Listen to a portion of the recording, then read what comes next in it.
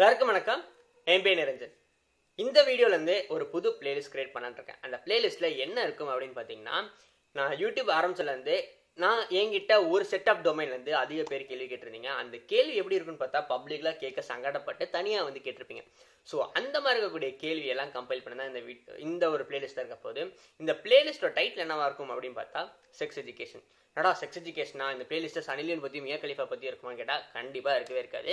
இதை முழுக்க முழுக்க நம்ம சயின்ஸ் பேஸ் பண்ணி தான் பேச போகிறோம் ஓப்பனாக டேபு இல்லாமல் பேச போகிறோம் ஓகே இதில் எதுக்காக இந்த பிளேலிஸ்ட்டோட நோக்கம் அப்படிங்கிறதா இன்னைக்கான வீடியோவில் இருக்க போது அதுக்கு முன்னாடி நான் என்னெல்லாம் சொல்லணும்னு ஆசைப்பட்றேன் அப்படின்னு பார்த்தீங்கன்னா இந்த பிளேலிஸ்ட்டில் எந்த விதமான ஒரு எயிட்டீன் ப்ளஸ் கண்டென்ட் அப்படிங்கிறத நீங்கள் பார்க்க தேவையில்ல. இது வந்து எல்லாரும் ஒரு ஸ்பீஷிஸ் அப்படின்னு ஒரு உயிரினம் அப்படி இருந்தாலே அவங்களோட வாழ்க்கையில் அடிப்படையான ஒரு விஷயம் என்னன்னு கேட்டால் செக்ஸ் தான். ஸோ இது வந்து ஒரு அந்த ஸ்பீஷிஸோட அடுத்த ஜென்ரேஷனை நிர்ணயிக்கக்கூடிய ஒரு விஷயம். ஸோ அதுக்கு மிக முக்கியமாக இருக்கிற பார்த்தா லைஃப் ஸ்டைல் நம்ம இங்கே வந்து பெட்டில் என்ன பண்ண போகிறோம் அப்படிங்கிறத பேச போகிறது கிடையாது. அதுக்கு பதிலாக நம்ம லைஃப் ஸ்டைலை எப்படிலாம் மாற்றணும் நம்ம கரெக்டான லைஃப் ஸ்டைல்னா என்ன அப்படிங்கிறதான் இன்னைக்கான வீடியோலையும் இதுக்கு மேலே வரக்கூடிய வீடியோஸ்லையும் பேச போகிறோம் இதுக்கான தேவை என்ன அப்படிங்கிறதையும் பேச போகிறோம் அதுக்கப்புறம் இதனால் நம்மளுக்கு என்னெல்லாம் பயன் இருக்குது இது நம்ம எங்கே சொல்லிக் கொடுக்கணும் எந்த பாயிண்ட் ஆஃப் டைமில் இது வந்து சொல்லிக் கொடுத்தா கரெக்டாக இருக்கும் அப்படிங்கிறத நம்ம தெரிவிக்கணும்.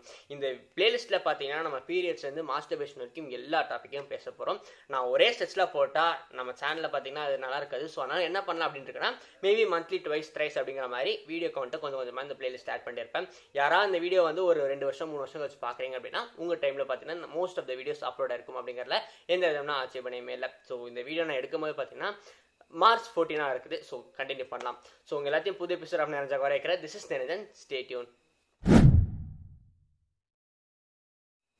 okay sex அப்படிங்கிறது ஒரு அடிப்படையான விஷயம் அப்படின்னு சொல்லல நான் ஏன் அந்த ஸ்டேட்மெண்ட்டை சொன்னேன்? அடிப்படையான விஷயம்ங்கிறது ஏன் அப்படின்னு கேட்டிங்கன்னா எல்லா ஒரு உயிரினருக்கும் யாராகிட்ட போயிட்டு அடிப்படையான விஷயம் தே- அடிப்படையான தேவை என்ன அப்படின்னு கேட்டிங்கன்னா அவங்க என்ன சொல்லுவாங்கன்னா சாப்பாடும் தங்க ஒரு இடமும்ட்டு. பட் நீங்கள் மிருகத்தெல்லாம் யோசிச்சு பாருங்க அது சாப்பாடு இருக்கு. ஓகே ரைட் பட் அது எதுக்கு சாப்பிடுது அப்படின்னு கேட்டால் உயிர் வாழ. எதுக்கு உயிர் வாழுதுன்னா அது அதோட அடுத்த ஜென்ரேஷனுக்கு அதோட ஸ்பீஷிஸை கொண்டு போக. சர்வைவல் ஃபார் தி ஃபிட்டஸ்ட் அப்படின்ட்டு சார்லஸ் டார்வின்ல ஒரு லைன் சொல்லியிருப்பார். சார்லஸ் டார்வின் யாருன்னு கேட்டால் நம்ம எவல்யூஷன் அதாவது நம்ம குரங்குலேருந்து மனுஷங்க வந்து அப்படின்னு சொல்லக்கூடிய இந்த ப்ராசஸை பற்றி ஒரு மிக டீட்டெயில்டாக ஒரு புக் எழுதியிருந்தாரு. ஸோ அதில் பார்த்தீங்கன்னா சர்வைவல் ஃபார் தி ஃபிட்டஸ்ட் அப்படின்னு ஒரு லைன் போட்டிருந்தார். அந்த சர்வைவல் ஃபார் தி ஃபிட்டஸ்ட்னா என்னன்னு பார்த்தீங்கன்னா இன்னைக்கு ஏகப்பட்ட ரேஸ் இருந்துட்டு இருக்கு அந்த ரேஸ் அப்படின்னு சொல்றது என்னன்னா ஒரு உயிரினமுக்கும் இன்னொரு உயிரினமுக்கும் ஒரு ஸ்பீஷிஸ்க்கும் இன்னொரு ஸ்பீஷிஸ்க்கும் நடையில் ஒரு போட்டி இருந்துகிட்டே இருக்கு. அந்த போட்டியானது என்ன ஆகும் அப்படின்னு பார்த்தீங்கன்னா ஒரு ஸ்பீஷிஸை டாமினேட் பண்ணிட்டு இன்னொரு ஸ்பீஷிஸை மேலே கொண்டு வரும். ஸோ அந்த போட்டியில் யார் ஜெயிக்கிறாங்களோ அவங்க தான் வெற்றியாளர். அவங்களோட ஜென்ரேஷன் தான் அடுத்து போய்கிட்டே இருக்கும். ஸோ இப்போ நான் வந்து போட்டியில் வந்து ஜெயிக்கணும் அப்படின்னா என்னோட ஜென்ரேஷனை கொண்டு போயிட்டே இருக்கணும். ரைட்டா ஸோ இதுதான் வந்து சிங்கம்லேயும் நடந்திருக்கு. புலிகிட்டையும் நடந்திருக்கு யானைக்கிட்டையும் நடந்திருக்கு உங்ககிட்டயும் நடந்திருக்கு. அதனால தான் இன்னைக்கு நீங்கள் என் வீடியோவை இங்கே உட்காந்து பார்த்துக்கிட்டு இருக்கீங்க. ரீசன் என்ன அப்படின்னு பார்த்தீங்கன்னா நீங்களா survival for the fittest we are the fittest sperms so அதனால தான் நம்ம வந்து இன்னைக்கு உட்காந்து பேசிகிட்டு இருக்கோம். ஸோ நம்மலாம் வந்து உருவானக்கான ரீசனை பார்த்தா நம்மளாம் நேச்சருக்கு ரொம்பவே ஃபிட்டாக இருக்கும். இப்போ நான் ஃபிட்டாக இருக்கணும் அப்படிங்கிற பற்றி ஏன் பேசுகிறேன் அப்படின்னு கேட்டிங்கன்னா இன்றைக்கி இன்ஃபர்டிலிட்டி வந்து ஒரு மிகப்பெரிய பிரச்சனையாக இருக்குது ஒரு ரெண்டு ஜென்ரேஷன் முன்னாடி வரைக்கும் பார்த்துன்னு வச்சுக்கோங்களேன் நம்ம தாத்தா பாட்டி ஜென்ரேஷன்லாம் பார்த்தீங்கன்னா ஒரு வீட்டில் ஆறுலேருந்து பதிமூணு குழந்தை வரைக்கும் இருந்திருக்கு. ஆவரேஜாக இந்தியன் பர்த்தில் பார்த்தீங்கன்னா ஆறு குழந்தை வரைக்கும் இருந்திருக்கு. ஸோ அவ்வளோ குழந்தை இருந்தக்கூடிய அந்த வீட்டில் இப்போ போய் நீங்கள் ஒரு ஃபர்டிலிட்டி எடுத்துக்கிங்கன்னா ஆவரேஜாக ஒரு வீட்டில் ரெண்டு குழந்தைங்க இருக்கிறது ஒரு பெரிய விஷயமா இருக்குது. ஸோ இது வந்து ஏன் அப்படின்னு பார்த்தீங்கன்னா நம்மளோட லைஃப் ஸ்டைல் சேஞ்ச் ஒன்னே வெஸ்டர்னைசேஷன் தான் எல்லாமே ப்ளேம் பண்ணமான்னு கேட்டால் அதுவும் ஒரு லைஃப் ஸ்டைல் தான் அங்கே இருந்திருக்கு. அப்போ இருந்தபோது அவங்க ஊர்லேயும் நல்லா ஃபர்டிலிட்டியில் இருந்துச்சு. இப்போ என்ன பிரச்சனை ஆகுது அப்படிங்கிறத பார்த்தீங்கன்னா ஏகப்பட்ட ரீசன் சொல்லலாம். நம்ம இன்னைக்கான வீடியோ என்ன பார்க்கலாம் பார்த்தா ஒரு ஷார்ட்டாக பயாலஜிக்கலாக என்னெல்லாம் நடக்குது இது எதனால நமக்கு ஃபர்டி இன்ஃபர்டிலிட்டி வருது அப்படிங்கிறதையும் அடுத்த ஒரு சில வீடியோஸில் வந்து நம்ம என்னெல்லாம் பண்ணலாம் அப்படிங்கிறதையும் அது மட்டும் இல்லாமல் நம்ம சாப்பிடக்கூடிய ஃபுட்ஸ்லேருந்து நம்ம செய்யக்கூடிய செயல்களை எப்படி இதெல்லாம் பாதிக்குது நம்மளோட லைஃப் ஸ்டைலை எப்படியெல்லாம் மாற்றணும் அப்படிங்கிறத கொஞ்சம் கொஞ்சமாக நம்ம வீடியோஸை பார்த்து டியூன் பண்ணிப்போம். ஓகே ஃபர்டிலிட்டி இன்ஃபர்டிலிட்டி அப்படின்னு சொல்கிறல முதல்ல அந்த ஃபர்டிலிட்டி அப்படிங்கிற டேர்ம் வந்து நம்ம டிஃபைன் பண்ணோம். அது என்ன டிஃபைன் அப்படின்னா after a one year of time அதாவது ஒரு வருஷத்துக்கு நீங்கள் செக்ஷுவல் இன்டர்கோர்ஸ் இருக்கீங்க. ஸோ அதுக்கப்புறமும் நீங்கள் கன்சீவ் ஆகாமல் இருந்தீங்கன்னா நீங்கள் இன்ஃபர்டைல் அப்படின்னு சொல்லப்படும். இது வந்து இதர் மேலுக்காக இருக்கலாம் ஃபீமேலாக இருக்கலாம் இல்லை ரெண்டு பேருக்குமே கூட இருக்கலாம். இந்த மேல் அப்படிங்கிற கேட்டகரியில் வந்தீங்கன்னா இது மூணு கேட்டகரியாக பிரிக்கிறாங்க. ஒன்று என்ன சொல்கிறாங்கன்னா அப்நார்மல் ஸ்பெர்ம் அப்படிங்கிறாங்க. ஸ்பெர்மோட வந்து சைஸோ இல்லை வந்து ஷேப்போ வேற மாதிரி இருக்கும். இல்லாட்டி abnormal mobility of the sperm அப்படின்னு இருக்கும். இல்லை mobility I mean sperm count வந்து கம்மியாக இருக்கும்.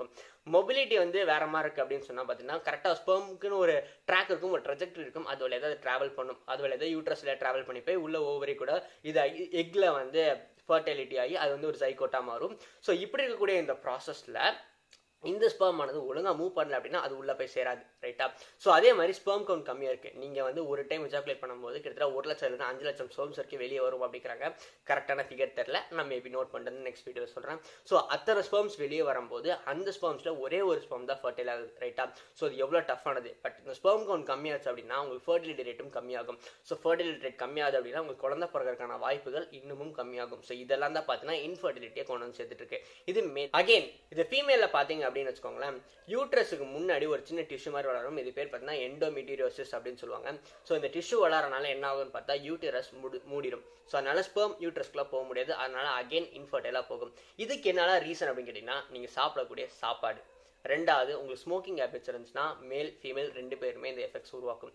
மூணாவது உங்களோட பாடியில் கூடிய ஹார்மோனல் சேஞ்சஸ் ஏற்படும். அதாவது டெஸ்டோஸ்டரோன் கம்மியாக இருக்கலாம் இல்லை பசங்களுக்கு பொண்ணுக்கு வந்து ஈஸ்ட்ரோஜன் கம்மியாக இருக்கலாம். ஸோ இது கம்மியாக இருக்கங்காட்டி என்ன ஆகும் பார்த்தா அகைன் உங்களுக்கு தேவையான அந்த செக்ஸ் ஹார்மோன்ஸை கிரியேட் பண்ணுறது ரொம்பவே கம்மியாயிரும்.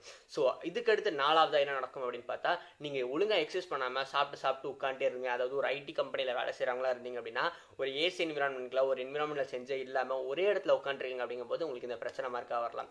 ஸோ இது எல்லாமே சேர்த்து இந்த மாதிரி இன்ஃபர்டிலிட்டின்னு வருது. ஸோ நம்ம என்ன பார்க்க போகிறோம் அப்படின்னு பார்த்தீங்கன்னா நம்ம எப்படி இந்த ஸ்பெர்ம் கவுண்ட்டை ஜாஸ்தி பண்ணுறோம் அதெல்லாம் இல்லாமல் நம்ம லைஃப் ஸ்டைலை எப்படி மாற்றுறது so that it will result in this அப்படிங்கிறதான் பார்க்க போகிறோம் அதுக்கு நம்ம நிறைய டேர்ம்ஸை தெரிஞ்சுக்கணும். நிறைய டேர்ம்ஸ் இந்த சென்ஸ் நம்ம பீரியட்ஸ் இருந்து மாஸ்டர்பேஷன் வரைக்கும் எல்லாமே தெரிஞ்சுக்கணும். அது எந்த அளவுக்கு நமக்கு யூஸ்ஃபுல்லாக இருக்கும் அப்படிங்கிறதும் இந்த வீடியோ கண்டினியூவாக பார்த்துட்டே இருங்க. இந்த ம- இந்த பிளேலிஸ்ட்டை ஃபுல்லாக உங்களுக்கு எப்போ வேணுமோ அப்போலாம் நீங்கள் பார்த்துட்டே இருக்கலாம். இந்த பிளேலிஸ்ட் எப்பயுமே யூடியூப்ல இருந்துகிட்டே இருக்கும். ஸோ இதுக்கு மேலே நான் போகிற ஒரு ஒரு வீடியோஸும் இந்த பிளேலிஸ்ட்டில் ஆட் ஆகிட்டே இருக்கும். ஸோ அந்த மாதிரி நீங்கள் பிளேலிஸ்ட் இப்போ இந்த வீடியோ பார்க்குறீங்க அப்படின்னா கீழே ஒரு லிங்க் கொடுத்துருக்கேன். அந்த லிங்கை கிளிக் பண்ணி டேரக்டாக நீங்கள் பிளேலிஸ்ட் அக்சஸ் பண்ணிக்கலாம். ஸோ இந்த மாதிரி நிறைய வீடியோஸ் நீங்கள் பார்த்துட்டே இருக்கணும் அப்படின்னு சொன்னா கீழே சப்ஸ்கிரைப் பண்ண பெல் பட்டனை கிளிக் பண்ணிக்கோங்க. இந்த மாதிரி நோட்டிஃபிகேஷன் உங்களுக்கு வந்துட்டே இருக்கும். ஸோ வந்துட்டே இருக்கும்போது நீங்கள் ஒவ்வொரு டைம் கிளிக் பண்ணி பார்த்துட்டே இருக்கலாம். என்னங்க பர்சனாக ஃபாலோ பண்ணால் கீழே சோஷியல் மீடியா லிங்க்ஸ் கிளிக் பண்ணி ஃபாலோ பண்ணிக்கோங்க. அங்கே ஆக்டிவாக தான் இருந்துட்டு இருப்பேன். ஸோ அடுத்த வீடியோவில் உங்கள் சந்திக்கும் மாதிரி நிரஞ்சன் வந்து விடைபெறுது டாடா